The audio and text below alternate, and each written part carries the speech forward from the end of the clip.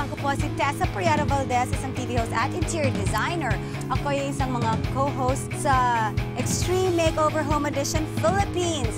Ako yung part na gumagawa ng mga special projects at memorabilia para yung mga memories ng old home na lilipat sa bago.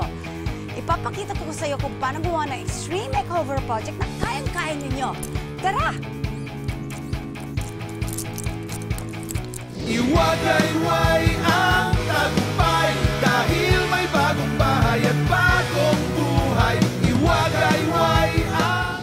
nyo, there's so many ways talaga to display pictures at hindi lang kailangan ng mga picture frame, ganon.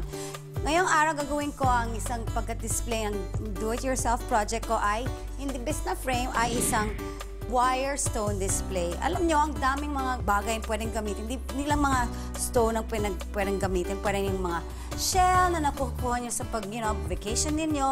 At very memorable pa siya. Napakadali itong gawin. Kulo lang ng alambre na iba-ibang haba.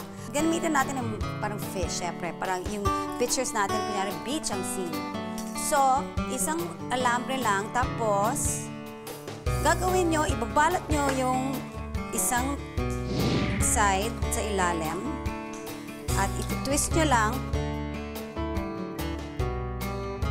Tapos nakikita nyo, syempre, iba yung height ng dalawang wire para iba yung height ng mga photo. So, ibibilog natin ang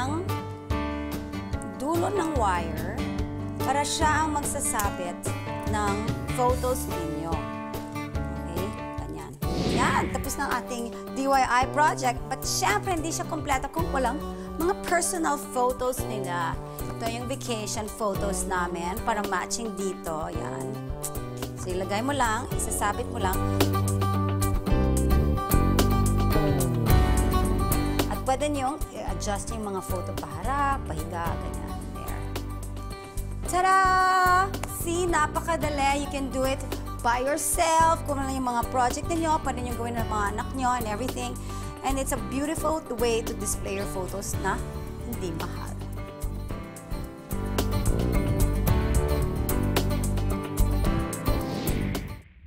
Diba? Daling gumawa ng Extreme Makeover Project. Kaya mga kapatid, ako po si Tessa Prieta Valdez. Marad kayo ng Extreme Makeover Home Edition Philippines on Sundays, 8.30 at merong Road to the Makeover. Mondays to Fridays, 11.30 after face-to-face dito lang sa TV5.